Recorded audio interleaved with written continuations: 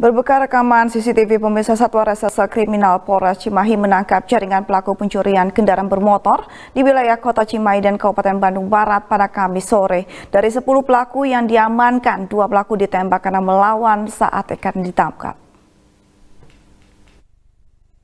Berbekal rekaman kamera CCTV saat pelaku keluar dengan mobil pribadi dan laporan warga tentang aksi pencurian motor yang banyak meresahkan warga, Satuan Reserse Kriminal Polres Cimahi langsung melakukan pengejaran terhadap para pelaku di kawasan Cianjur. Satu orang pelaku tak berkutik saat ditangkap petugas di kediamannya di kawasan Cianjur.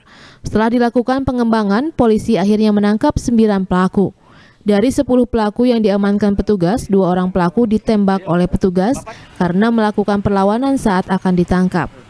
Dalam melancarkan aksinya, para pelaku mempunyai peran masing-masing, yakni sebagai pemetik, joki maupun penadah. Untuk menakuti korban, para pelaku pun membawa replika senjata api yang ternyata hanya korek gas.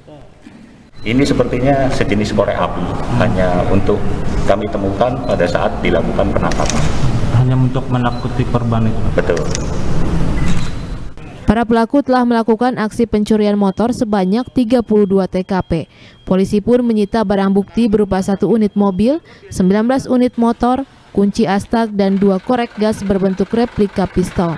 Atas perbuatannya, pelaku Ranmor dikenakan pasal 363 KUH pidana dengan ancaman hukuman penjara 7 tahun. Sementara penada dikenakan pasal 480 KUH pidana dengan ancaman hukuman 4 tahun penjara.